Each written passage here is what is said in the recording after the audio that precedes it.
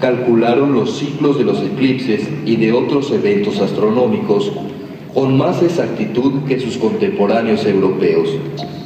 Eran artistas y arquitectos de extraordinario talento y dejaron testimonio de ello en edificios y obras de arte de gran belleza.